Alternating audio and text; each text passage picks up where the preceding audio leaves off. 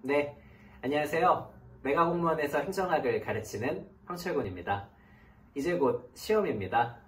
아마도 지금 이 순간에도 마지막 정리에 열을 올리고 계실 텐데요. 어, 그런데 시험 직전에 갑자기 그리고 불현듯 닥쳐오는 걱정과 불안에 사로잡히는 순간들이 분명 있으실 거예요. 어, 그런데 여러분들 너무 걱정 안 하셔도 됩니다. 한번 생각해 보세요. 누구보다도 여러분들 열심히 해오셨습니다. 체력이 떨어져가는 그 순간에도 졸린 눈 치켜 떠가면서 열심히 강의를 들으셨던 분들도 바로 여러분들이시고요.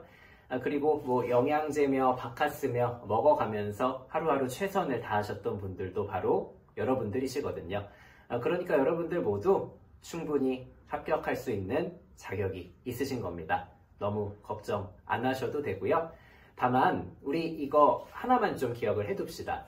우리 시험장에서 여러분들에게 주어진 시간이 몇 분이죠? 정확히 100분입니다.